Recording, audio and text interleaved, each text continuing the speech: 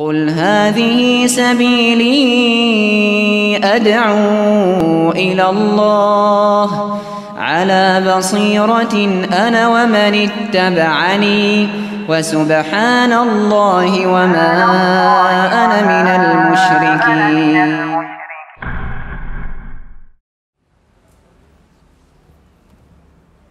Mau kuis dulu kuis?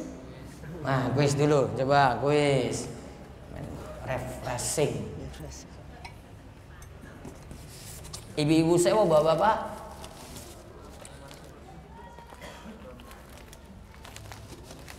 Laki-laki. Kok laki-laki semua ya? Wah, kepiye ya kia? Ya Allah, ibu-ibu orang entok iki ya. Pak, apa kewajiban suami tadi? Saya kena dulu kidul, ha? Hah? Kewajiban suami apa? Yang paling penting Man tanggung jawab pada keluarga. Terus liane, sik kene lor. Nah ini Mas. Perhatian pada istri. Wah ibu-ibu sabar ya Bu ya. Terus apa meneh ya? Saya tak ganti pertanyaan, ini mau gampang. Sebutkan tugas-tugas istri. Hah? Hah? Taat pada suami. Masya Allah. Ibu-ibu pengen?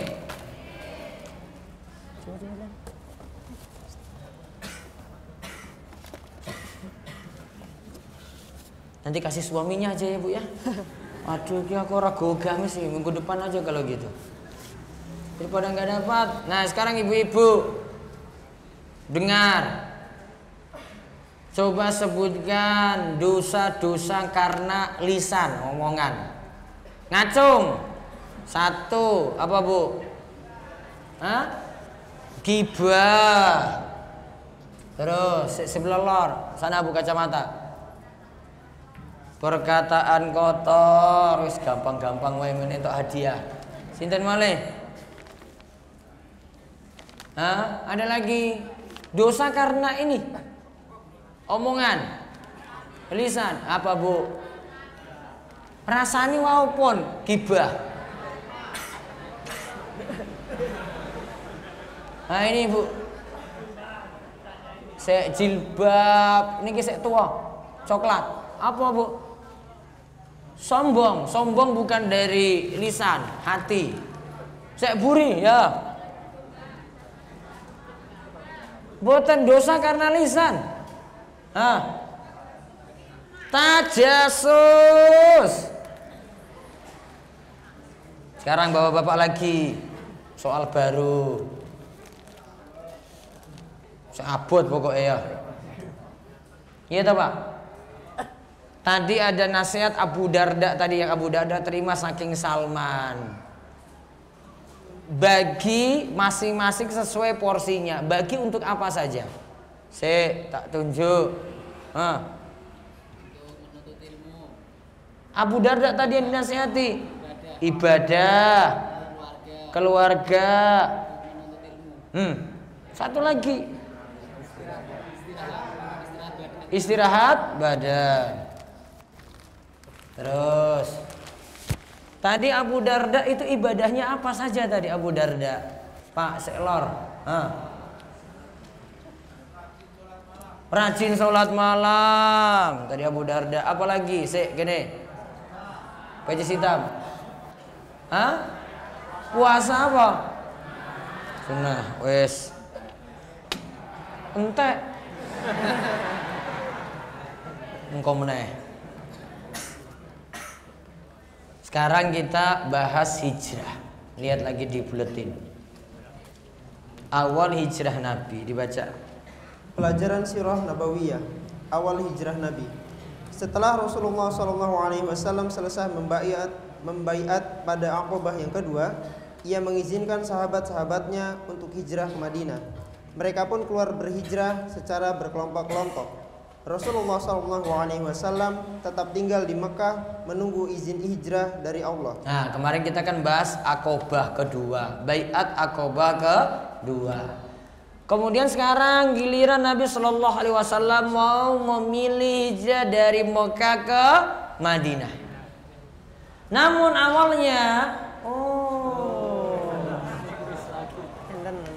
ini yang tadi tak tanya, wah haki gamis malahan ya. Eh tak taruh sek nih menurah lali aku. Tadi ibu-ibu tadi saya kasih ada berapa tadi yang sudah dapat tadi ya coba ngacung. Satu dua tiga. Nah tiga nanti ijolan karo ini. Tak jelok meneh gue. Nah, nanti kasih coba kasih tiga tadi itu. Tiga nanti tiganya dikumpul lagi. Terus ya nanti mundur belakang. Sekarang tadi sahabat ya itu semuanya pada pingin hijrah. Namun Nabi SAW belum berangkat. Ya, kurang satu lagi tadi. Ya nanti yang satu tadi bu ya. Terus dibedah malahnya para apa Orang sabar. Penasaran ya tak? Ya. Sebentar, nanti ibu-ibu dapat yang lainnya insya Allah. Tadi, sekarang giliran Nabi itu hijrah. Namun Nabi di sini karena masih nunggu wahyu itu turun kapan beliau hijrah, beliau suruh sahabatnya itu satu-satu pergi atau ada yang berkelompok-kelompok pergi hijrah ke Madinah. Terus lanjut lagi, orang yang pertama berhijrah. Orang yang pertama berhijrah dari Makkah ke Madinah adalah Abu Salamah bin Abdul Asad, kemudian Amir bin Rabi'ah bersama istrinya Laila, kemudian Abdullah bin Jashi, kemudian sahabat-sahabat lain radhiyallahu anhum secara berkelompok-kelompok. Selanjutnya Umar bin Al-Khattab radhiyallahu anhu bersama saudaranya Zaid bin Ishash bin Abi Rabi'ah. Tidak ada yang tinggal di Mekah melainkan Rasulullah sallallahu alaihi wasallam, Abu Bakar radhiyallahu anhu, Ali bin Abi Thalib dan beberapa dan beberapa orang sahabat karena ditawan serta ada faktor lainnya. Lihat, yang pertama kali hijrah. Karena tadi kan ada yang sendiri-sendiri, ada yang kelompok-kelompok. Jadi enggak penduduk Mekah tadi yang pengikutnya Nabi semua barengan itu enggak. Bertahap nih. Ada di situ yang pertama, lihat ya, yang pertama hijrah Abu Salamah. Abu Salamah ini suami dari Ummu Salamah. Abu Salamah nanti meninggal, kemudian Ummu Salamah nikah dengan kanjeng Nabi. Jadi Abu Salamah ini istrinya eh, istrinya adalah Ummu Salamah yang nanti akan jadi istri Nabi Shallallahu Alaihi Wasallam. Terus kemudian Amir bin Rabi'ah, istrinya namanya Laila. Kemudian Abdullah bin Jahsh. Kemudian sahabat-sahabat yang lainnya. Selanjutnya ada Umar, selanjutnya ada Zaid. Berarti kita simpulkan ya, ada Abu Salamah, Amir bin Rabi'ah, Abdullah bin Jahash, juga ada Umar dan ada Zaid bin Iyas. Yang paling sering kita dengar itu Abu Salamah Umar. Pokoknya kalau ditanya yang pertama kali hijrah siapa? Ada Abu Salamah, ada apa? Umar. Umar bin Khattab sudah duluan juga. Nah, itu secara sendiri-sendiri atau berkelompok. Nabi belum. Ya, Nabi Shallallahu alaihi wasallam belum. Nah, tidak yang tinggal di Mekah melainkan Rasulullah Shallallahu alaihi wasallam, ada situ Abu Bakar, ada situ Ali bin Abi Thalib. Karena sebab mereka ditawan di situ nggak boleh keluar dan juga ada faktor yang lain. Berarti yang tidak berangkat yang kali gelombang pertama yang belum berangkat adalah Rasulullah, terus Abu Bakar, terus Ali bin Abi Thalib. Tiga ya. Tiga ini yang belum berangkat. Kapan berangkatnya? Nyusul. Rasul biarkan sahabatnya dulu duluan. Terus Abu Bakar. Abu Bakar termasuk sahabat yang paling sering meminta kepada Rasulullah supaya diizinkan hijrah. Rasulullah Wasallam berkata kepada Abu Bakar, janganlah engkau terburu-buru, wahai Abu Bakar. Semoga Allah memberikan kawan yang baik sewaktu kamu hijrah. Lalu Abu Bakar pun merasa tenang dan berharap kawannya itu adalah Rasulullah Shallallahu Alaihi Wasallam. Taib, lihat Abu Bakar sudah pingin sekali berhijrah. Tapi Rasul bilang tahan, tahan, sudah tunggu dulu. Abu Bakar manut nggak pada Rasul di sini? Manut nggak? Manut. Rasul yang perintahkan kok sudah nanti tunggu dulu. Rasul kasih alasan-alasan gini gini gini. Tunggu nanti. Gak mesti kamu berangkat duluan ini nanti barang saya nanti. Nah, tadi harapannya Abu Bakar apa? Yang penting yang jelas wahai Rasulullah, saya itu bisa berangkat untuk hijrah. Dia berharap sekali bisa barengan dengan Rasulullah Sallallahu Alaihi Wasallam. Berarti teman saat kita bepergian itu dipilih orang-orang yang baik. Makanya Abu Bakar tuh pinginnya, ah saya dengan Rasulullah saja. Ini aturan nih mau pergi safar perjalanan jauh. Siapa yang nemani? Kalau situ ada laki-laki, pilih laki-laki yang soleh yang lainnya nih. Kalau ini rombongannya laki-laki nih. Jangan teman yang rusak nggak boleh. Pengaruhnya kalau teman yang rusak, yang situ malah sholat, kita juga ikut malah sholat. Masuk waktu sholat subuh, kita telat bangun, semuanya akhirnya telat bangun. Gak ada yang bangunkan subuh tadi coba lihat. Namun kalau yang soleh kan enak. Masuk subuh dia bangun duluan. Terus bangunkan teman-temannya. Kalau kita jadi temannya ketika itu kita dibangunkan. Efeknya ada. Maka teman itu berpengaruh sekali. Maka tadi harapan dari Abu Bakar itu apa? Dia itu sangat harap sekali yang bersafar berhijrah bersama Abu Bakar adalah Rasulullah Sallallahu Alaihi Wasallam. Sekarang kalau ibu-ibu pergi safar, siapa yang menemani? Boleh nggak ibu-ibu pergi safar sendirian? Hah? Ditemani sama siapa? Suami atau mahram? Ditemani suami atau apa? Mahram. Suaminya ada, suami yang temani. Mahramnya ada, kakak laki-lakinya ada, kakak laki-lakinya temani. Kalau nggak ada lagi ini, lihat anak putranya sudah balik apa belum? Anak putranya sudah balik, wah temani itu. Kalau ada yang pakai alas semua, Ustadz kan dulu itu butuh menemani wanita tadi itu kan karena memang dulu itu nggak ada rasa aman, banyak kekacauan. Sekarang coba lihat kalau memang alasannya kayak gitu. Sekarang lebih rusak mana coba? Pergaulan laki-laki dan perempuan lebih rusak zaman dulu apa zaman sekarang?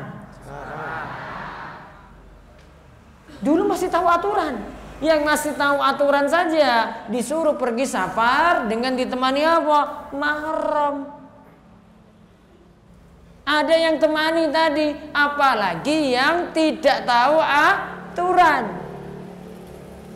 Harusnya lebih diperketat lagi. Jadi syariat itu Bapak Ibu-ibu syariat ajaran agama Islam itu berlaku terus waktu demi waktu itu berlaku terus nggak berubah itu syariat.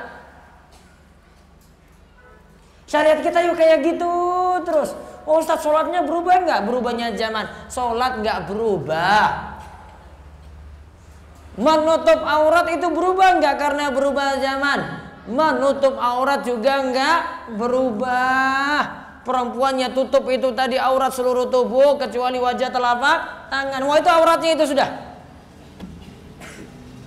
nggak berubah walaupun sampai 2019 2020 nggak berubah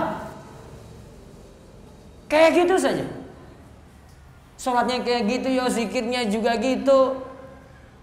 Sholawatnya juga ya gitu. Puasanya juga gitu aja ibadah. Ibadah tuh nggak berubah-berubah itu.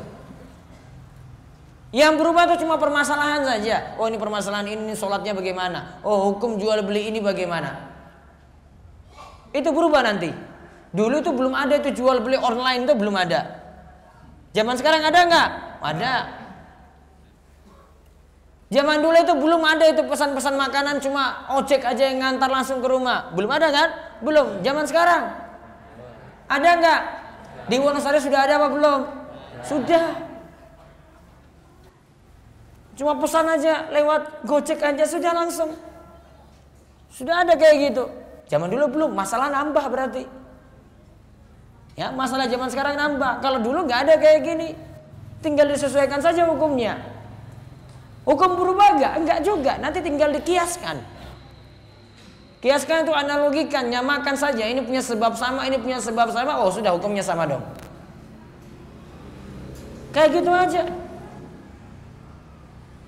Berkembangnya enggak berkembang banget. Cuma nanti disamakan hukum, hukum itu bisa. Nanti ada ulama yang bisa beristihad. Nah itu tadi nanti bisa hasilkan hukum. Nanti tentang masalah istihad saya bahas, bahas besok. Ada satu amalan lagi yang ringan itu ijtihad. Ijtihad itu gimana para ulama dia itu memikirkan suatu masalah, pecahkan masalah tadi sehingga bisa dihasilkan hukum di mana hukum ini belum ada saat ini. Karena kan kalau kita pakai hukum itu bersumber dari Islam ya. Ajaran kita itu bersumber dari apa? Al-Qur'an. Terus apa? Hadis. Nanti ada ketiga dan keempat ada ijma, ada kias. Namun ada beberapa permasalahan itu tidak pakai dalil Al-Quran hadis. Namun karena dalil cuma sebutkan umum nanti lihat masalahnya masing-masing. Ada pakai pengertian bahasa, ada dilihat dari urf. Urf itu kebiasaan masyarakat setempat. Ya, kebiasaan masyarakat setempat. Masyarakat kita tuh nganggapnya bagaimana? Contoh. Ini urf masyarakat Jawa itu beda kalau lagi layani tamu. Itu beda dengan orang luar. Baru taruh minum begini. Itu sudah disuruh minum belum? Hah? Baru diletakkan saja di meja sudah disuruh minum belum? Belum. Oh itu dalilnya mana? Oh itu bukan pakai dalil, urf. Urf ini dianggap syariat nggak tentang kayak gitu. Pokoknya jalani aja. Kamu masuk sini harus tahu kayak gitu dong, nggak langsung dihabisin. Beda kalau dia pindah ke daerah lain, daerah lain sudah beda lagi urfnya. Ini nggak ada. Kamu cuma biarin kayak gini, nggak disuruh minum. Dari tadi sudah diletakkan, sudah tanda minum. Kamu cuma nunggu, terus kok tuan rumahnya kok nggak bilang-bilang? Ya nggak dibilang-bilang memang. Tempat lain sudah beda lagi. Itu urf masyarakat Jawa. Dipakai. Contoh standar pakaian. Kan uang Gunung Kidul kan asalnya bukan pakai gamis jubah gitu kan bapak-bapak kan? Apa dari dulu ada yang kayak pakai kayak gitu? Enggak. Itu baru datang belakangan itu. Apa kalau mau sholat pakai apa bapak-bapak? Sarung. Sarung. Apa meneh? Koko. Ya, penutup kepala biasanya pakai enggak? Pecis, iya kan? Pecis hitam kayak gini kan biasanya. Nah, pakai itu. Eh, syariat ngatur enggak? Syariat enggak ngatur. Islam enggak ngatur itu. Pakaiannya dibebaskan. Justru kalau tetapkan, pokoknya kalau ibadah mau sholat harus pakai gamis putih panjang sampai bawah itu. Itu jadi wajib. Wah, memberatkan. Itu sudah tradisi yang lain lagi, itu masyarakat Arab. Kita tinggal menyesuaikan. Yang penting laki-laki itu nutup aurat. Namun selama catatan tadi tradisinya, kebiasaan masyarakatnya tidak melanggar aturan Islam. Contoh pakaiannya ibu-ibu kalau pakai standarnya masyarakat, masyarakat mayoritas nggak pakai jilbab. Betul apa betul? Kalau ini dijadikan tradisi, dijadikan pakaian standar, wah sudah berarti auratnya nggak ditutup-tutup lagi. Maka ketika bertentangan dengan syariat, nah tradisi ini nggak dipakai, kebiasaan masyarakat nggak dipakai, yang diambil apa? Syariat. Karena syariat perintahkan wanita itu tutup seluruh tubuh kecuali apa? Wajah dan telapak tangan. Yang mau menutup wajah boleh. Itu nggak ada larangan tuh. Ya, sifatnya sunnah, buatan wajib. Wah Ustadz, kalau ada yang pakai kayak begini bagaimana? Boleh. Nggak boleh dikomentari. Nanti kalau belum paham nanti komentari macam-macam. Wah, iki aliran apa meneh gitu. Gak ada apa-apa itu dari dulu.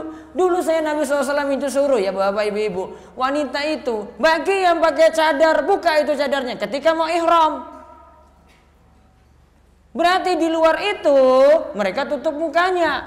Maka Nabi SAW suruh kalau kamu mau ihram mau masuk ibadah umroh atau haji tutup itu. Tutup tadi itu dibuka. Yaitu cadar tadi dibuka. Di luar itu berarti mereka tutup. Itu jadi dalil itu oleh para ulama. Makanya kalau dalam mazhab Syafi'i nggak asing lagi kayak begitu. Yang aneh itu cuma kita sudah nggak pernah ngaji banyak komentar orang.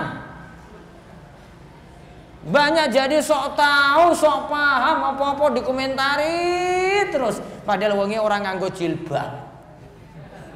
Pakaiannya seksi. Orang tahu sholat, namun kalau komentari orang, ya Allah. Kalau ibu-ibu di komentar kayak gitu, ya sabar, nggak usah dibalas. Karena ada yang belum tak tahu, belum paham, belum ngaji. Yang sudah paham sudah ngaji, ya itu pakai tutup aurat tuh.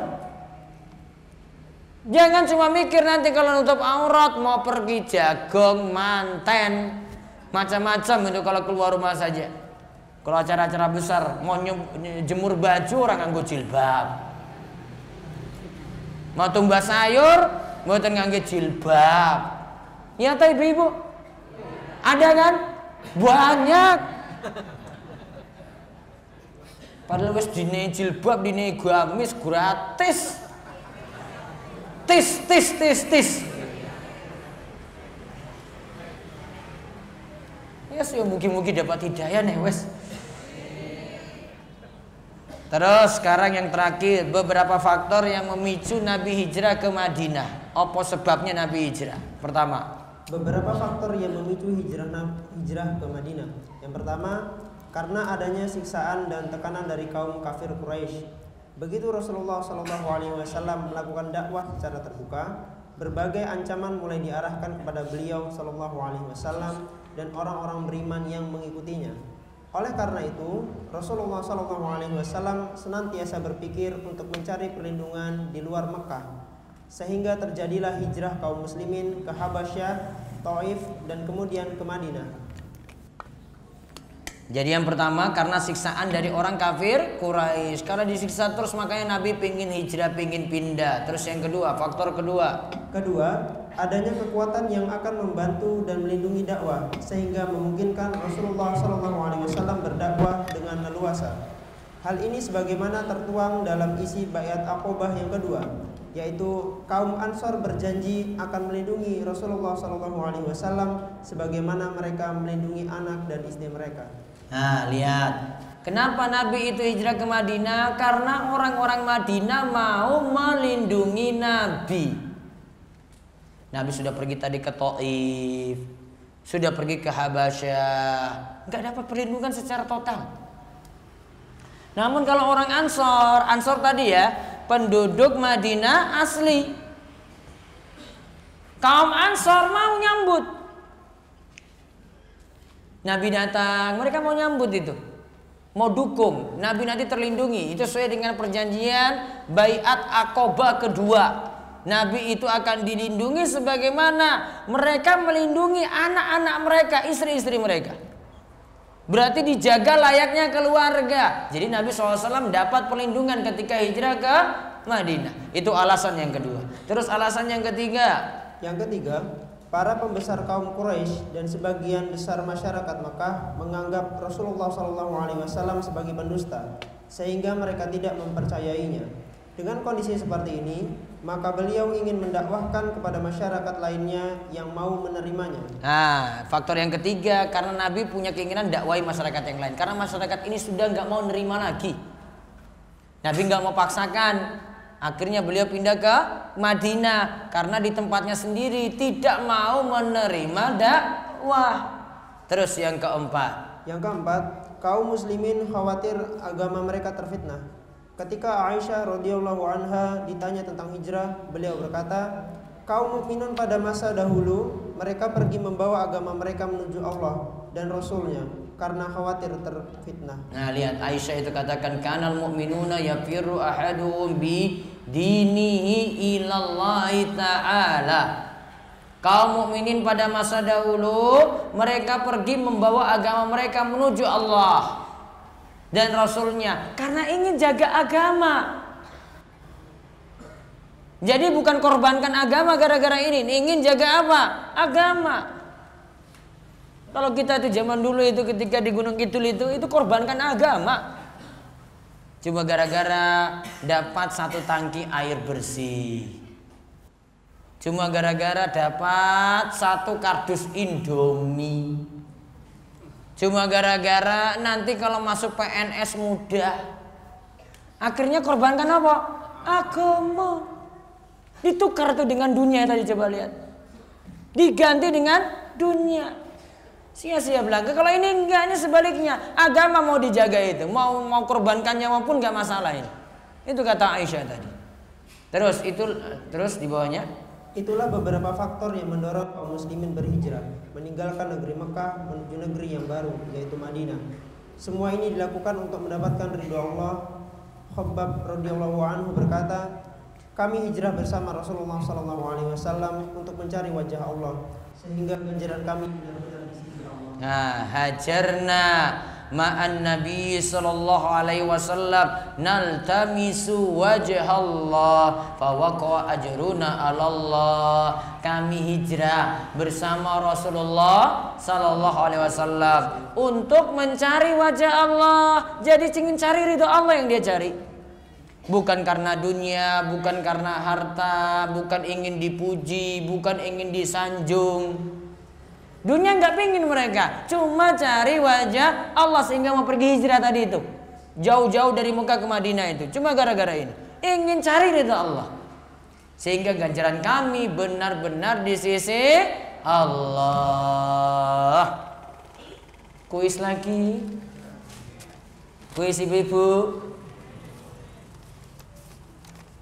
Tadi ada istri Nabi kalau sebut Ummu Salamah. Sebutkan istri Nabi yang lain. Pernah kita bahas satu bu. Aisyah siapa lagi? Selain Aisyah? Khadijah Wes. Terus sebelah utara. Hah? Hafsah siapa lagi? Tambah satu lagi. Hah? Ada lagi. Apa? Khadijah. Khonsa. Sofia.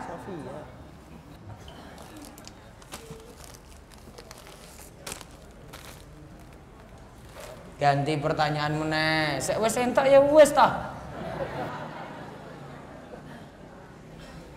Ibu bapak, Bapak-bapak dulu. Sebutkan sahabat yang pertama kali berhijrah. Ah, kok keh banget ya. Sek kono eh, eh, eh sini. Apa? Umar, masya Allah. Kepiye iki? Nanti kasih ibu-ibu sana itu, kasih ke tangga naik ke atas ya. Ini atau nanti ini aja Pak, nanti terakhir aja turun. Nanti ya. Terus. Sik tangga kono iki, tangga lor. Yang pertama kali hijrah. Ini yang tangga di tangga sini lah. Sik lor iki. Ngacung. Siapa? Salamah Sinten. Abu Salama. Iki wong Jawa ora iso nyebut abune kuwi lho. Wes. Terus tangga kidul. Siapa yang belum berangkat hijrah, masih tinggal bersama Nabi? Ngacung, bapak-bapak. Ah. Ali bin Abi Thalib. Eh, itu. Wih, Pak, tangga selatan. Aduh, kasihan yang di bawah ya. Kalau ada mic itu bisa ini. Kono berarti ibu-ibu yang bagian belakang.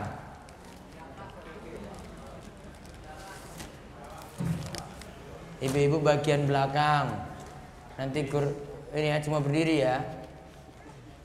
Sebutkan, enggak nanti itu Pak.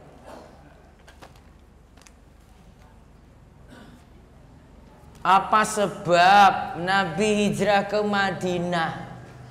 Sebabnya apa? Nah, Bu yang di tiang, cadar ya. Karena apa? Karena siksaan, wis. Terus lor. Ibu-ibu. Benten-benten. Nah. Karena apa, Bu? Apa? Saya nggak dengar. Apa bu? Apa bapak-bapak? Ah, untuk melindungi dakwah ya bisa. Aduh, gede iki ya Allah. Yes, enteni saya tak jawab pertanyaan.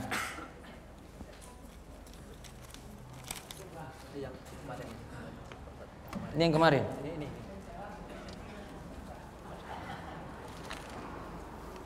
Baik, tak jawab pertanyaan J.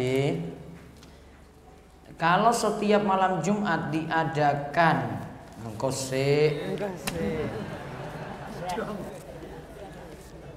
Jika beli mobil dengan cara kreditnya lebih mahal dari beli cash, termasuk riba bukan? Ya memang kayak gini, pasti kredit lebih mahal. Terus termasuk riba apa bukan? Kalau lewat leasing berarti lewat pihak ketiga. Ada riba di situ. Jika sudah lunas barangnya boleh nggak dimanfaatkan? Boleh, itu barang jenengan. Namun masalahnya jenengan punya resiko, bayarnya lama, harganya jadi tinggi. Motor tuh, motor misalnya harga normalnya 16 juta cash.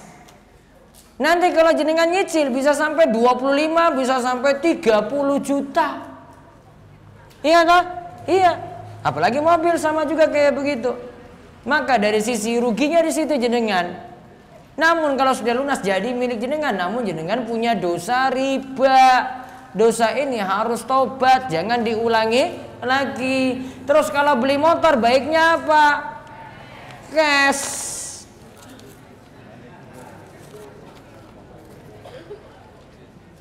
Saya sholat berjamaah, saya berusaha mendapatkan soft di saat saya merapatkan ke kiri, yang di sebelah kanan saya tidak ikut merapatkan sop. Saat tegur saya tegur beliau tetapi tidak ikut merapatkan. Bagaimana menyikapi hal tersebut? Didiamkan saja. Yang sebelah kananmu itu belum paham. Maka nggak bisa dipaksakan. Saya punya dua teman yang sudah sama-sama ngaji namun pacaran. Tolong beri nasihat kepada ikhwan akhwat yang sudah ngaji namun masih pacaran. Tobatlah.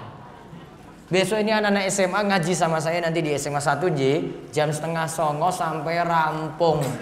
Ini biar nanti tahu itu gimana cara bergaul ya. Ini usaha anak muda saya nih. Umum boleh datang juga. Nanti ngaji di SMA 1 Wonosari yang putri ada, yang putra ada. Karena sekolahnya izinkan yang luar boleh datang. Anak-anak putri, bapak ibu-ibu suruh datang nanti di SMA 1 besok Sabtu. Besok Sabtu apa? Sabtu Leging, Ji. Nah, Sabtu Leging nanti suruh hadir di situ.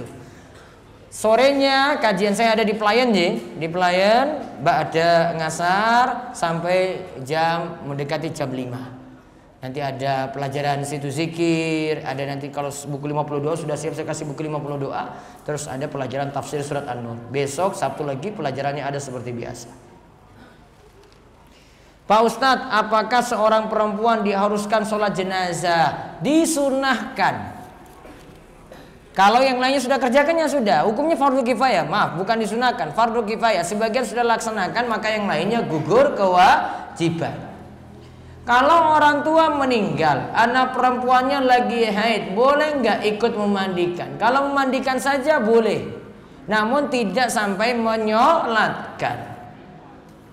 Sholat berjamaah kalau imam baca al-fatihah, makmumnya dia mendengarkan apa menirukan Pak Ustadz makmum cukup diam. Bacaan imam jadi bacaan untuk makmum. Sholat apa? Jenazah.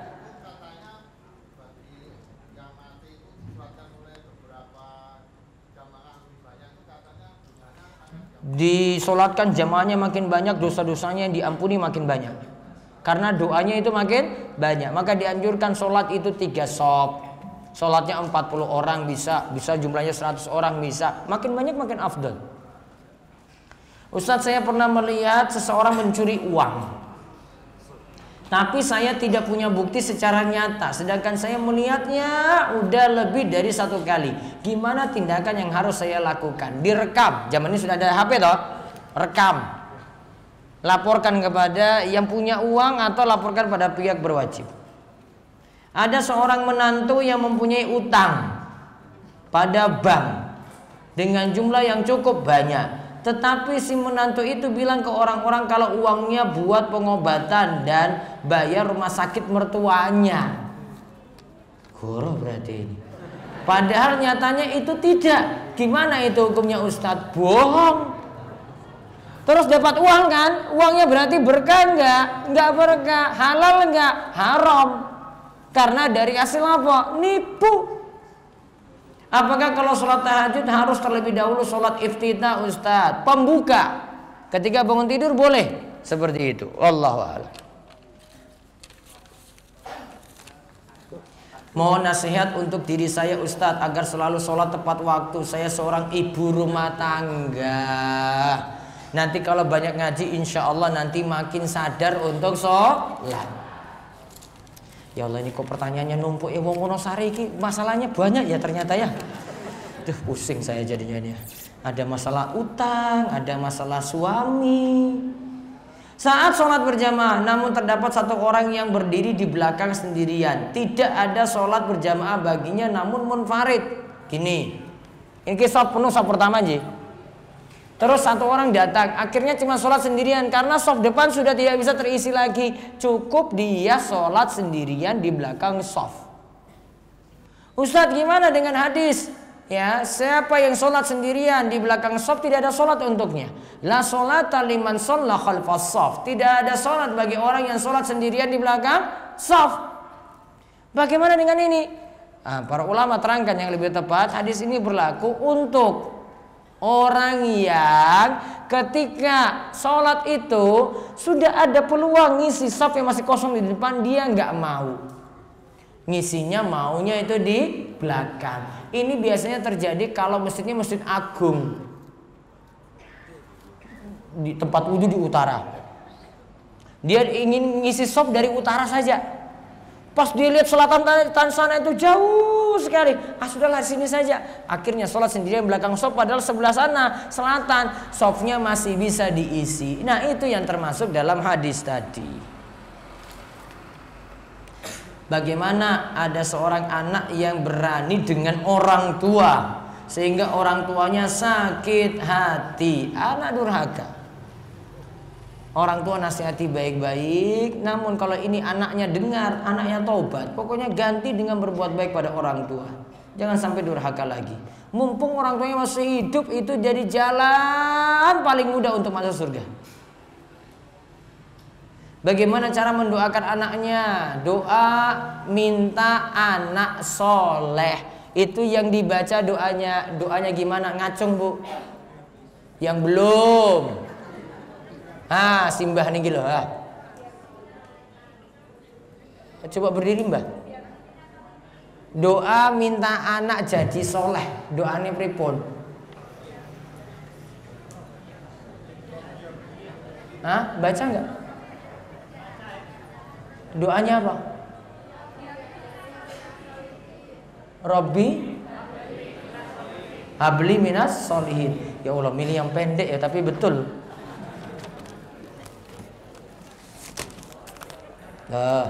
Ayo meneh. Ya, simbah yang di tiang. Rabbana hablana min azwajina wa dzurriyyatina ah wes tul yes. terus mencari ilmu dan mencari nafkah untuk keluarga lebih dahulu yang mana Ustaz cari ilmu yo sendiri cari nafkah juga sendiri buat tinggal ngatur waktu ini gak usah ditanyakan kan malam masih bisa ini kan bisa masih bisa ngaji. Paginya kan cari nafkah, kan bisa. Tinggal bagi waktu. Apabila apa bisa atau boleh kita mengumrohkan orang tua yang sudah meninggal dunia? Boleh. Namun yang mengumrohkan harus sudah pernah berumroh. Menahan kentut saat sholat boleh atau makruh. Kalau keadaan darurat harus keluar ini. Namun dia tahan-tahan berarti makruh. Karena sholatnya terganggu. Namun kalau masih bisa nahan Dikarenakan ah cuma sedikit saja Saya masih bisa tahan sampai akhir sholat. Tidak makruh Saya punya anak kecil dan berwudu dalam kamar mandi yang ada WC-nya gimana? Boleh, yang penting lantainya itu suci. Saya punya anak kecil ketika malam Jumat sampai Jumat hanya bisa membaca 10 sampai 20 ayat surat Al-Kahfi. Apakah boleh dilanjutkan membacanya minggu depannya? Boleh-boleh saja kalau ini untuk anak-anak, untuk mendidik. Dalam Islam tidak ada anjuran acara tujuh bulanan bagi wanita hamil. Tidak perlu. Tidak ada tuh tunan. Terus apa? Gantinya apa? Hah? Gantinya apa? Banyak doa namun tidak khususkan bulan keberapa. Ya, bebas waktunya kapan pun. Terus saya kemarin punya utang sebanyak 40 juta. Tapi apa ini?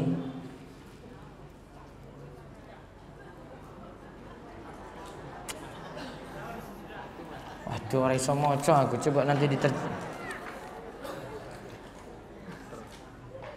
Apa benar foto dan gambar itu tidak boleh dipajang?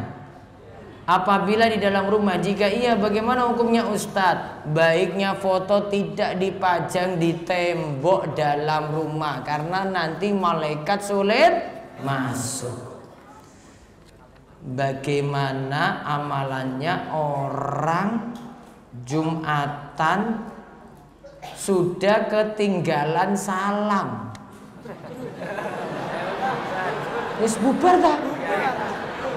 Berarti sholat Jumatnya diganti sholat duhur. Seseorang dibaleni meneh. Kok iso ketinggalan Jumatan?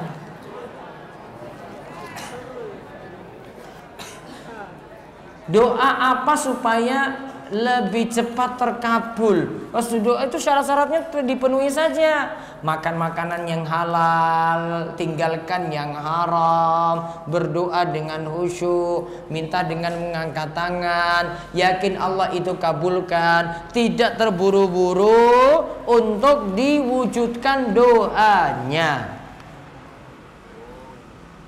Wudhu di dalam kamar mandi yang ada WC-nya boleh atau tidak? Boleh nggak? Masih boleh. Tadi ya. Ini sudah tadi.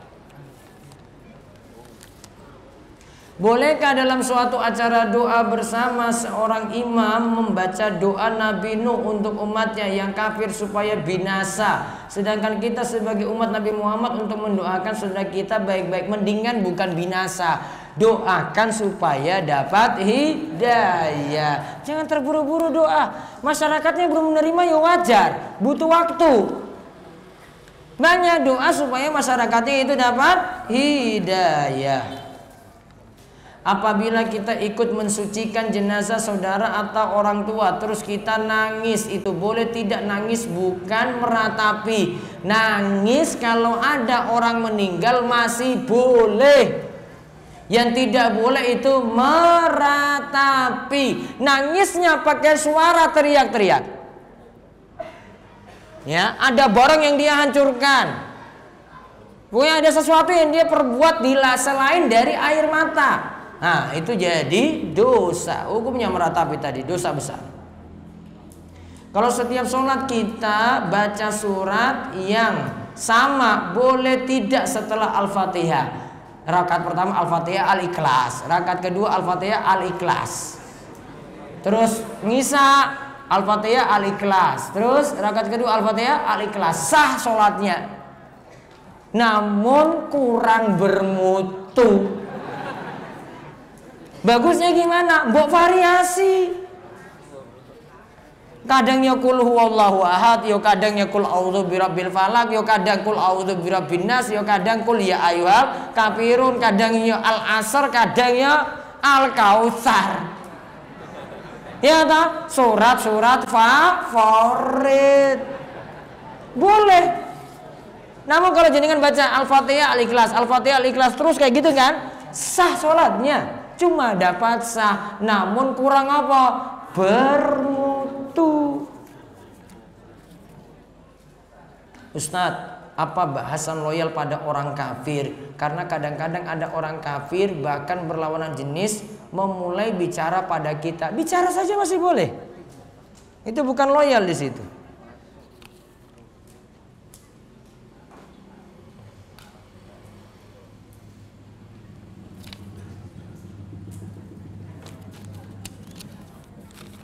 dua lagi ya. Aku wis ngeleh iki ya. Duh jika si A gadai sepeda ini gadai motor ke si B dan si B pinjami uang 5 juta. Jika di awal sudah ada akad bahwa ketika digadai sepeda motor tersebut digunakan untuk bepergian dan lain-lain, apakah hal tersebut dibolehkan? Pakai motor gadaian itu riba. Utangnya tadi berapa? 5 juta. Harusnya motor ini kalau dipakai bayar sewa. Nggak boleh minta gratis.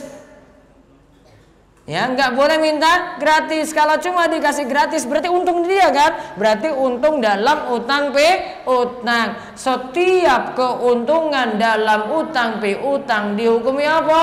Riba. Berarti boleh dipakai nggak motornya? Nggak boleh, cuma didiamkan saja. Sama dengan tanah, tanah jadi gadean, boleh nggak dipakai? Nggak boleh. Pak Ustadz saya punya utang sebanyak 40 juta, tapi sulit nyaur. Tapi saya sholat terus tengah malam memohon kepada Allah. Tapi kalau dikabulkan pada Allah mau bikin ingkung. Itu masuk musyrik apa tidak? Berarti cuma bersyukur ya? masih boleh. Yang penting jenengan sekarang mikir dulu utangnya gimana lunasi. Nggak usah mikir ingkungnya dulu. Utangnya 40 juta urung disaur kok. Nanti kalau sudah lunas jenengan tanya lagi Ustadz Saya itu sudah lunas utangnya 40 juta Boleh nggak saya buat ingkung Nah itu baru tak jawab nanti ya Nanti tak minta ingkungnya nanti Ustadz, apakah orang yang taklid atau lebih mudah menerima paham-paham liberal? Karena sekarang ini mereka juga berani memunculkan membuat film yang tidak sesuai dengan ajaran Islam. Gak usah nonton film kayak gitu. Uang masuk tempat ibadah agama liane tak? Nah, nggak usah macam-macam. Walaupun tuh anak kiai kayak ustadz kayak nggak usah peduli kayak begitu. Ya, nggak usah nonton ikut-ikut film-film lagi, nggak usah disaingi filmnya juga. Sekarang bentengi diri dengan ngaji. Itu iman kita itu dijaga dengan ngaji. Iman itu bukan dijaga dengan nonton film tadi. Iman itu ngaji itu kita itu. Dengan ngaji tambah ilmu tambah amal. Ya, maka nanti jadi baik. Itu saja kuncinya. Terus yang terakhir ini pengumuman kajian besok Ahad di Rongkop Komplek Balai Desa Bohol Rongkop di Gunung Kidul jam setengah songo Ahad paling besok sampai rampung. Jadi kajian pagi SMA di SMA 1 Wonosari nih itu nanti untuk anak-anak remaja. Anaknya diajak Bapak Ibu-ibu biar ada teman untuk kumpul. Nanti mereka semua sendiri itu dengan anak-anak remaja. Jam setengah songo sampai rampung. Kemudian jam Mbak Dasar nanti di masjid besar udah pelayan.